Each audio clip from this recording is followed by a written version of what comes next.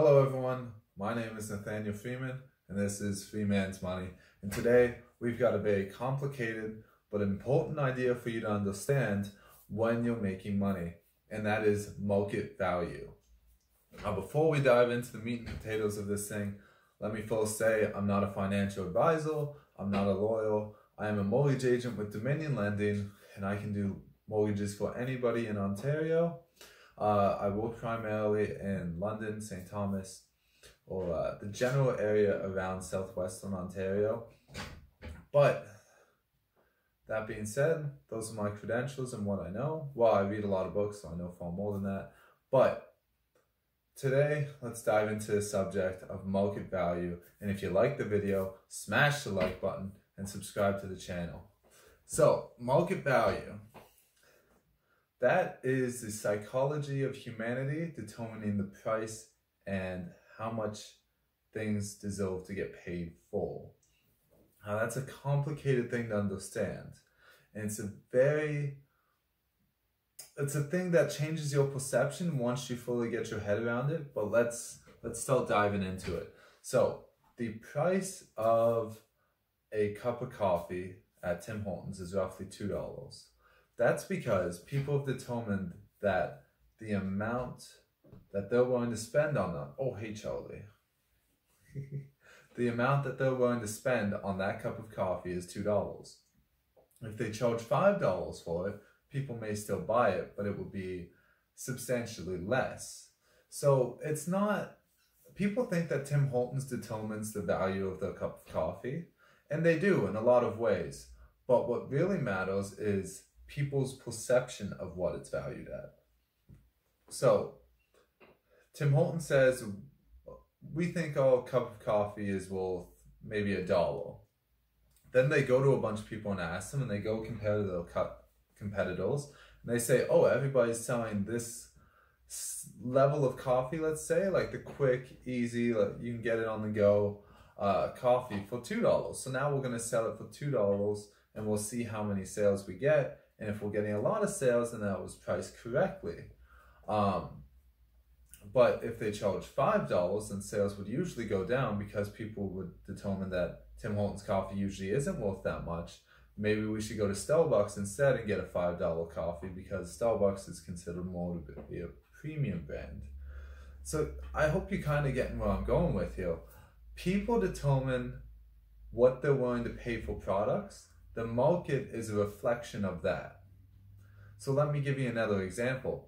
Let's sit, let's take my house for example. At the time I bought it, which was January of 2019, its perceived value was $225,000, which is what I purchased it at. So the perceived value of this house in its current condition was 225,000. Now I have not done a single thing to this house. I've well, I've done a little bit here and there, but mainly changing some electrical outlets and nothing fancy. I haven't painted the walls, I haven't changed the flooring, none of that. However, considering how the housing market has gone up in value and St. Thomas especially has practically exploded, my house is now valued at 300,000. Even though nothing changed within the house, the perceived market value of this property given the current circumstances is now over 300 which you can see is substantially different from when I bought it one year ago. Well not even about 10 months ago. So market value determines the cost of a product or the price of a product.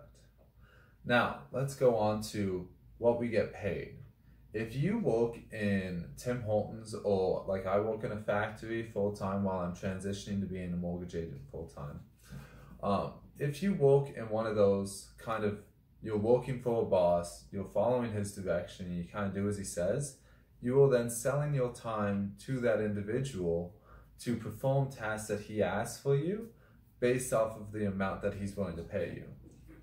Which is why somebody at Tim Hortons will get paid like $14 an hour while I get paid 25 It's because the perceived market value of what I'm doing seems to be more, well, it's worth $25 an hour. and there are probably seven people lined up going to do my exact same job for $25 an hour. And the same can be said for true for Tim Hortons. So that individual works for $14 an hour, that's perceived market value. And if that person doesn't want to work for $14 an hour at that job, there are seven other people going to do exactly those tasks for $14 an hour. So let's take an example here. Let's say the individual at Tim Hortons said, I'm no longer going to work for $14 an hour. I'm going to work for $30 an hour. Tim Hortons will say, well, the value of your services are not worth $30 an hour. So we will not pay that and we'll just bring in this guy that will do it. Now, what happens if everybody working at Tim Hortons and everybody that wants to work at Tim Hortons says we will no longer work for $14 an hour, we will work for $30 an hour. Immediately the salaries of all Tim Hortons employees would go up to be about $30 an hour. And the reason for that is they need employees to run their business. So since they can't replace anybody for $14 an hour, they would try 15, then 16, 17, 18, 19, 20, 21, 22, all the way up to 30, and then say, okay, people are willing to do these set of jobs for $30 an hour. Now, what they will try to do if that did happen is put the cost of that extra $30 an hour back on the customer by making everything more expensive at Tim Hortons. But that's a story for another time. I want to show you guys that what you're getting paid at your job is your perceived market value while doing that job. Now, some people can be overvalued, some people can be undervalued, and this is no definition of what individuals are worth. But what they consider the task you're doing is worth this specific set of money.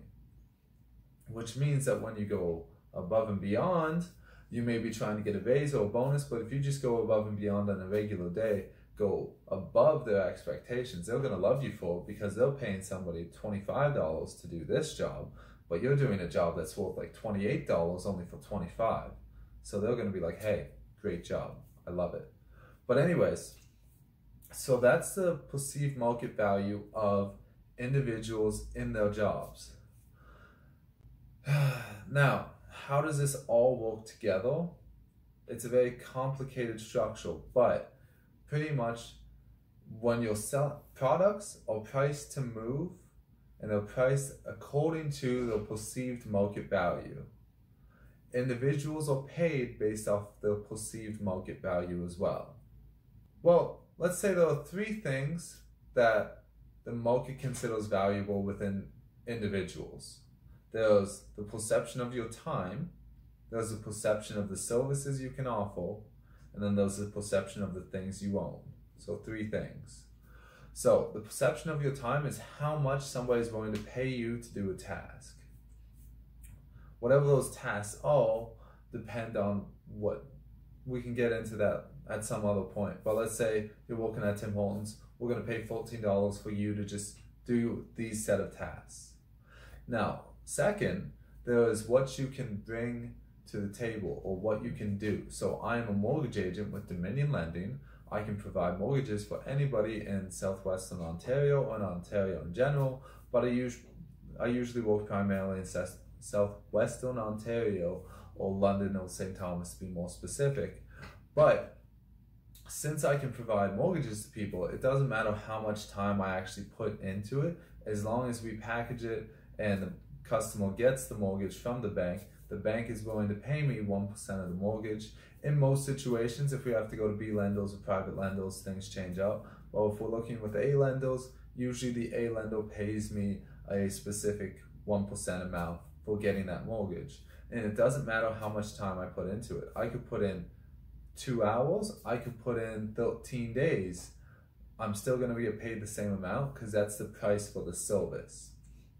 Now, on the other hand, on the third, you have the perception of the things you own. So one is my house, which we've already talked about. It's gone up over $75,000 in value, roughly, but that's perceived market value for that. There's also the stocks that I own, and I hope some of you own stocks as well, which are at a perceived value of about 8000 right now, and they're paying me dividends of about $400 a year. Now, as you can see, Market value determines almost everything revolving money. Even when it comes to stocks, stock price is determined by the market value or what people are willing to pay for that stock. So I know this is a complicated subject.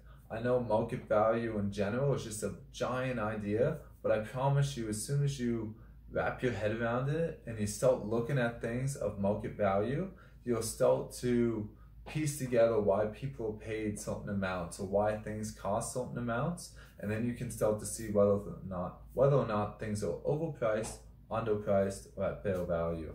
Now, if you like the video, smash the like button, subscribe to the channel, and I'll see you guys here next time on Freeman's Money. Ciao for now.